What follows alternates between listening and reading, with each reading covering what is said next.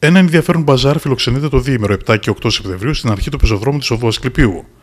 Εκεί το χαμόγελο του παιδιού προσκαλεί τους φίλους και υποστηρικτέ του να ενημερωθούν για το ευρύ φάσμα των δράσεων του οργανισμού, καθώς και να διαλέξουν ανάμεσα σε μια μεγάλη ποικιλία καλοκαιρινών, σχολικών και άλλων ειδών, πάντα σε προσιτές τιμές.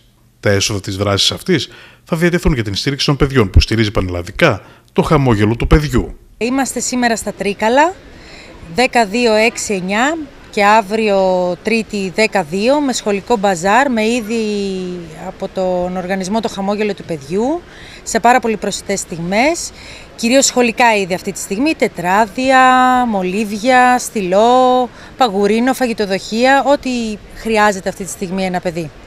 Από αυτή σας την παρουσία σε όλη τη Θεσσαλία, ποια είναι η ανταπόκριση των πολιτών της, στηρίζουν τις δράσεις του χαμόγελου του παιδιού.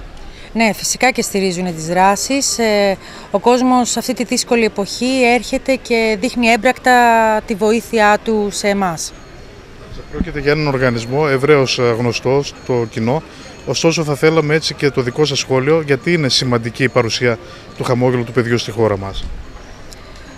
Γιατί το χαμόγελο του παιδιού, όπως γνωρίζετε, είναι δίπλα σε κάθε παιδί θύμα βίας, δίπλα σε κάθε παιδί που είναι θύμα εξαφάνισης, σε κάθε παιδί που έχει κάποια ιατρική ανάγκη και σε παιδιά που είναι, βρίσκονται σε ανάγκη φτώχειας. Αυτοί είναι οι τέσσερις πυλώνες που βοηθάμε και στηρίζουμε τα παιδιά ολιστικά.